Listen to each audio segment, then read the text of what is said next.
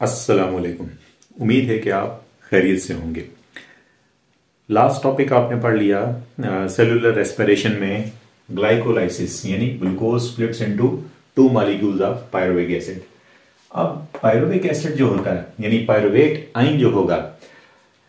इसके साथ क्या होगा? Pyruvate ion will be converted into acetyl coenzyme A pyruvic acid जो होता है, ये चूँकि चार्ज मॉलिक्यूल है तो it cannot enter into the mitochondria so there are permeases there are molecules which are responsible for uptake of this pyruvate and transfer it into the mitochondrial matrix where rest of the uh, oxidation process will take place so pyruvic acid will enter into the mitochondrial matrix और वहां पर इसके साथ सबसे पहले क्या होगा pyruvic acid will undergo an oxidation and decarboxylation process It is a two step process अब इस पे क्या होगा? सबसे पहले ये जो आपके पास पायरुवेट आइन है, इसमें से कार्बन डाइऑक्साइड जो होगा, ये यहाँ से एग्जिट हो जाएगा। This removal of carbon dioxide from pyruvate is called as decarboxylation decarboxylation is a process in which carbon dioxide is remove from this pyruvate ion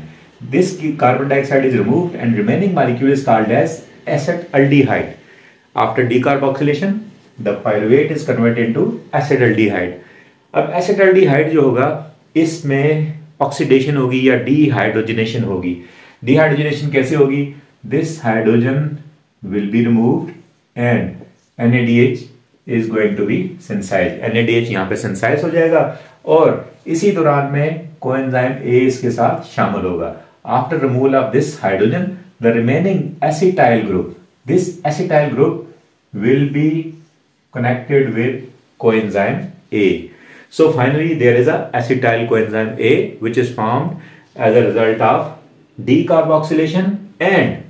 uh, dehydrogenation. This step is called as dehydrogenation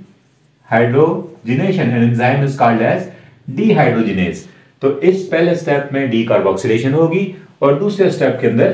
dehydrogenation होगी and finally there is a formation of this acetyl coenzyme A so